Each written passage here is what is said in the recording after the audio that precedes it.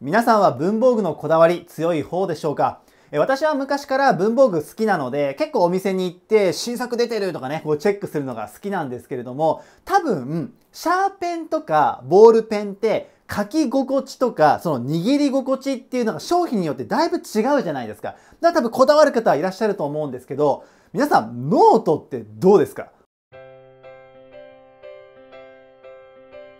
改めましてどうも、はい、ちです。新学年直前ということで、皆さんに文房具の相棒を決める時の選択肢を入れてほしいということで、今回もですね、日本ノートさんのトゥリーズを紹介させていただきます。約半年前にこちらの動画を投稿させていただいて、それからたくさんの方にこのトゥリーズを使っていただきました。で今回はですね私の主観だけを伝えるのではなくて実際に使っていただいた皆さんから今回そのフォームを作って使ってみた感想をたくさん送っていただきました。なのでそちらを皆さんとこう確認しながら、まあ、私のね主観も入りますけども実際に使ってくれた皆さんがこういう風に感じたんだよっていうのをぜひ皆さんに聞いてもらえたら嬉しいです。それに加えてメッセージ入りノートのプレゼント企画もさせていただきました。そちらもたくさんの応募いただいてありがとうございました。おそらくこの動画出てる時には皆さんの手元に届いてるかと思いますのでぜひ大事にしてくれると嬉しいです。よろしくお願いします。それではまずお一人目の感想を読ませてもらいます、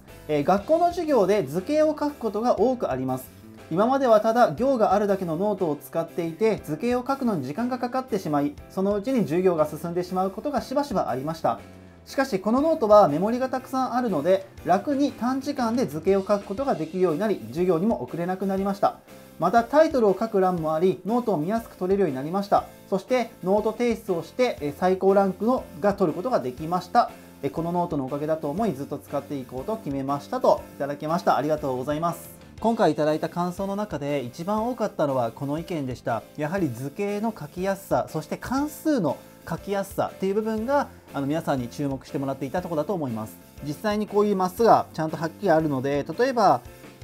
フリーハンドでも正方形をこういうふうに書くことができたりとかここでプラス形の奥の部分をちょっと使えば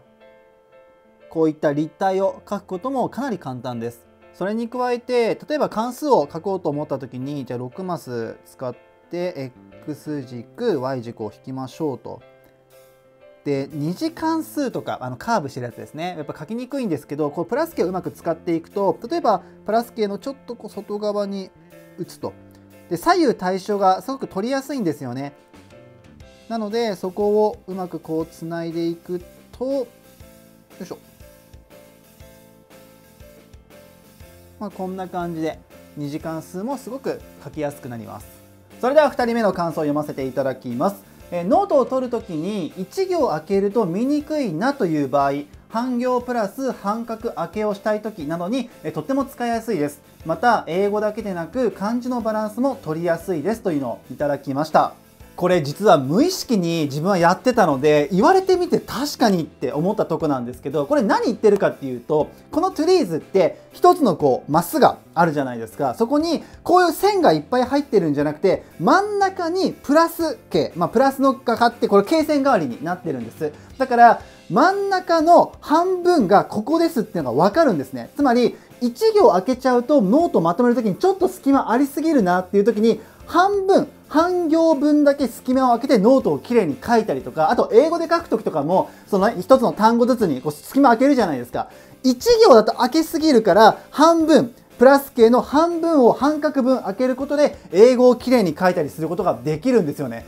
続いて3人目の感想を読ませていただきます、えー、ノートはすごく書きやすいです。で図えーと、図を描きたい時とかはすごくいいと思います。ただ個人的にごちゃごちゃしてるのが苦手なので目がチカチカしてしまいますという感想をいただきました。で実はこれはね私もそう思ってました。実際の中身はこんな感じです。ちなみにこれは私が今板書案で作ってるやつなので内容は気にしないでください。私も今まで使ってたノートはかなりシンプルなノートだったので、ああいったものが入ってるとちょっとこうごちゃごちゃしてるなっていうのが実は第一印象だったんですね。ただ、私は使ってるうちに慣れました。あれがあることによってやっぱ綺麗に書けるっていう恩恵の部分が、のが大きいので、今では愛用してるんですね。ですが全員が全員なれるわけではありません。今回書いていただいた方もそうですし私も最初そうでしたから。だから実際この動画を見て買っていただいた方の中にもそう感じる方もいらっしゃるかもしれませんのでそういった可能性そういった意見もあったんだっていうことを込み込みで選択肢の中に入れていただけたら嬉しく思います。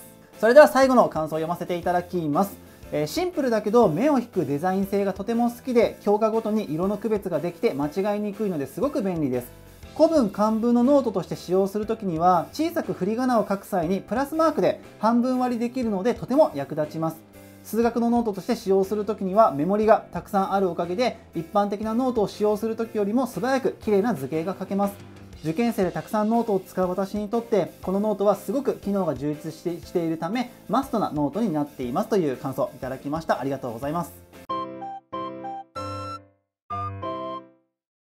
最後に一つ、えー、私が読んでてあ確かにそれすげえ共感するって思った感想を紹介させてください。それが紙質なんです。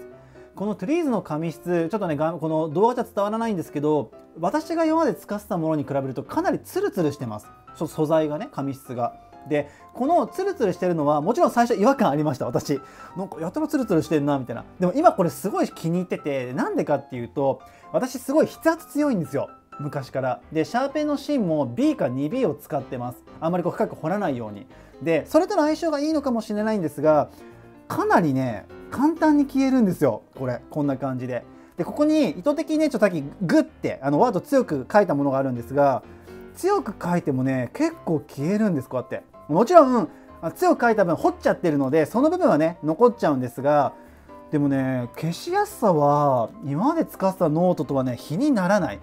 でこのその図の書きやすさとかもそうですしの消えやすさっていうのって勉強って数分で終わるものじゃないじゃないですか。もちろん毎日続けていくものなので。でそういったちっちゃいストレスやっぱり書きにくいとかその書いたのに消して書いて消しを続けたりとか書いたものを消しちゃう消す時のストレスっていうのがやっぱ軽減されるのは私はやっぱり勉強効率には関わってくると思うんですよね。すごい細かい部分ではあるんですがちょっとね読んでてすごく紹介したかったとこだったので言わせてもらいました。